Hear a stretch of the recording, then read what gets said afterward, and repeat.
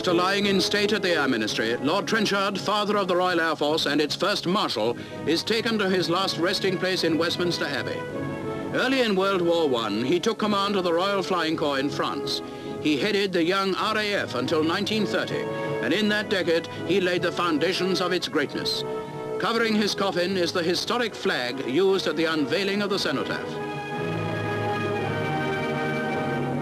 Bearing the insignia are Air Chief Marshal Sir Ralph Cochrane, Major General Hakewill Smith and Sir Henry Dalton. The Duke of Edinburgh, in Air Force uniform, represents the Queen. Twelve foreign governments are represented. Earl Mountbatten leads the Admiralty representatives. The Air Force, which Lord Trenchard created, once stood alone between Britain and disaster.